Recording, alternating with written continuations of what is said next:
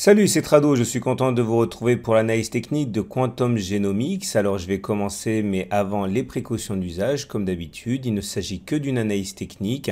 Je suis euh, formateur, coach, analyse technique, mais je ne suis pas conseiller financier, je ne connais pas votre euh, aversion au risque, je ne connais pas vos aspirations, donc tout ce qui suit n'est qu'un partage donné à titre informatif, pédagogique, mais ce n'est absolument pas une incitation à acheter ou à vendre quoi que ce soit. La précédente hausse a été très impressionnante, néanmoins selon le consensus des, analystes, euh, il y a encore a priori 121% à récupérer euh, par rapport au cours objectif qui est de 6 euros s'il était euh, rallié.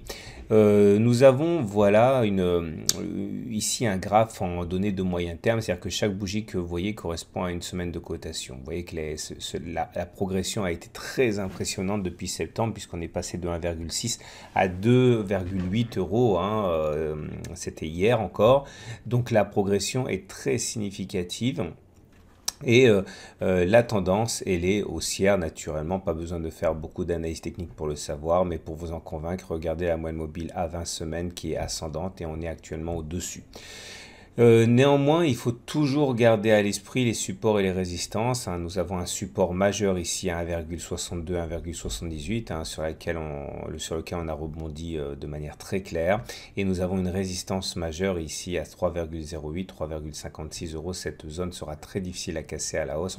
On, pourra éventuellement la visiter comme ça a été le cas, hein. mais euh, on va avoir beaucoup de mal à passer au-dessus, de la même manière qu'on aura beaucoup de mal sans doute à passer en dessous des 1,62 euros.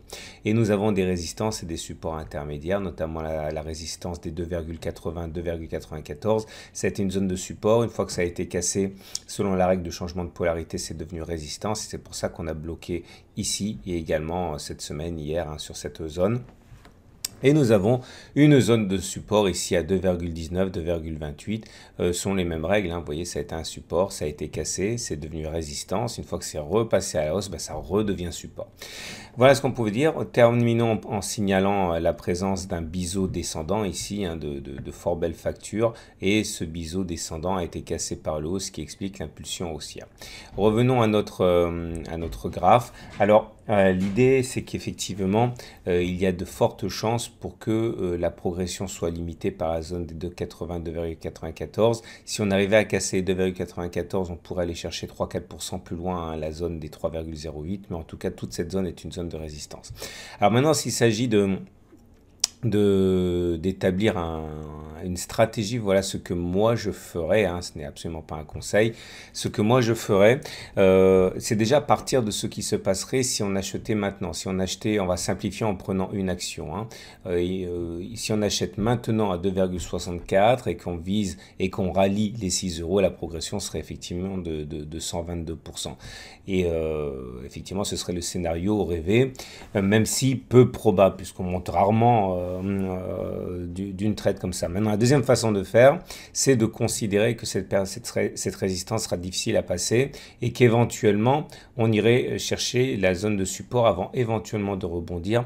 Donc, le, scénario alternatif serait euh, que l'on monte euh, que l'on bloque sur les 280, 280, qu'on revienne sur les 2,28 pour ensuite aller chercher les 6 euros, ce qui nous donnerait la possibilité euh, d'acheter une action, euh, c'est pour simplifier, à 2,64, donc maintenant, une autre action en cas de retour sur 2,28, ce qui nous donnerait un prix de revient unitaire de 2,46 euros, ce qui, encore une fois, en cas de ralliement des 6 euros, nous donnerait une progression de 143% au lieu des 122%, donc 20 points en plus, et ça nous permettrait surtout, un, de, de vivre sereinement une attaque baissière jusqu'à 2,28 parce qu'elle ferait partie de la stratégie. Hein. Il ne s'agit pas de moyenner à la baisse, il s'agit d'avoir une stratégie globale.